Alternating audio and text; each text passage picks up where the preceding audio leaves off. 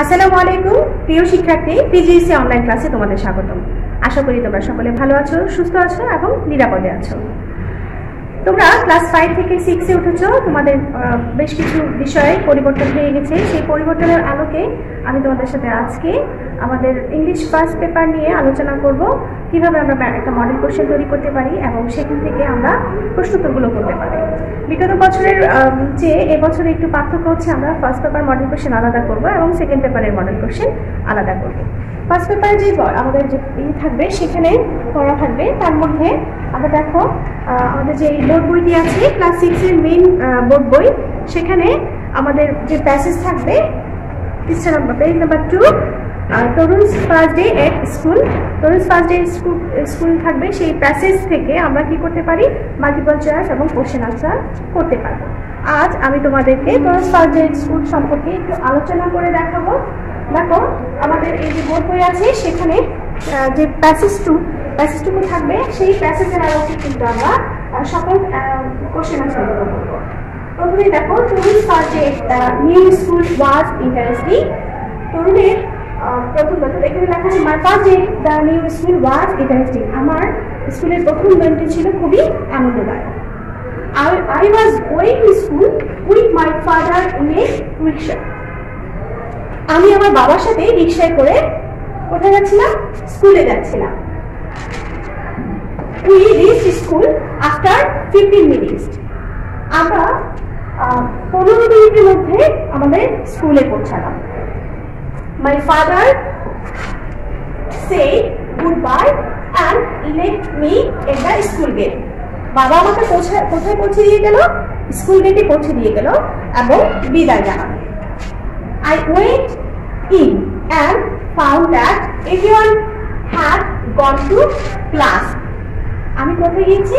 আমি স্কুলে ঢুকলাম এবং দেখলাম সেখানে প্রত্যেকেই কোথায় চলে গেছে ক্লাসে চলে গেছে walk into my classroom and found a seat আমি আমার শ্রেণীকক্ষে ঢুকলাম বা প্রবেশ করলাম এবং সেখানে একটি বসার সিট বসার জন্য একটা স্থান পেলাম After some time, a teacher came and warmly greeted us.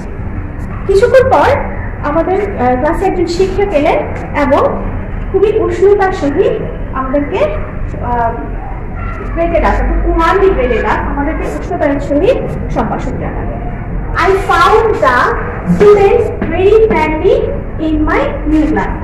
আমি আমার নতুন শ্রেণীকক্ষে আমার বন্ধুদেরকে কীভাবে পেলাম? বন্ধু সুলভভাবে পেলাম। তোমরা নিশ্চয়ই নতুন ক্লাসে বা নতুন স্কুলে এসে তোমাদের যে নতুন বন্ধুদের সাথে দেখা হবে, দেখবে সবাই কি করবে? ফ্রেন্ড সুলভ, অর্থাৎ বন্ধু সুলভ থাকবে ফ্রেন্ডলি থাকবে। তো এই যে প্যাসেজটি আমরা অনুচ্ছেদটি করলাম সেই অনুচ্ছেদ থেকে আমাদের প্রথমে আসবে কি? মাল্টিপল চয়েস অর্থাৎ কিছু অপশন দেওয়া থাকবে। কোশ্চেন থাকবে কোশ্চেন থেকে তোমাকে চারটি অপশন দেওয়া থাকবে। চারটি অপশনের মধ্যে যে অপশনটি তোমার কারেক্ট বলে মনে হবে, তুমি সেটি কি করবে? তোমার খাতায় উপস্থাপন করবে। চলো তাহলে এই যে প্যাসেজটি করলাম সেখান থেকে আমি কয়েকটি মাল্টিপল চয়েস প্রশ্ন লিখব এবং তারপরে অ্যান্সারটা কীভাবে খাতায় তুলতে হয় সেই বিষয়টি নিয়ে তোমাদের জন্য তোমাদের সাথে সংক্ষিপ্তভাবে একটু আলোচনা করব। প্রিয় শিক্ষার্থী, তোমাদের সাথে যে এতক্ষণ প্যাসেজটি করেছিলাম তার আলোকে দেখো, আমি প্রথম প্রশ্নটি করেছি।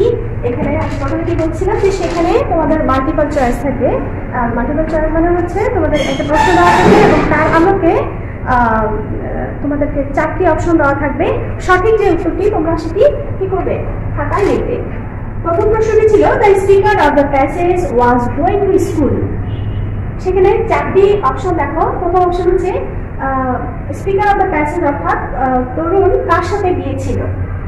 উইথ হিজ মাদার আমরা কি প্যাসেজে পড়েছিলাম? সেটা মায়ের সাথে গিয়েছিল? না। B with his father with his aunt with his uncle এখানে আমরা প্যাসেজটি করে জেনেছিলাম যে তরুণ তার বাবার সাথে স্কুলে গিয়েছিল।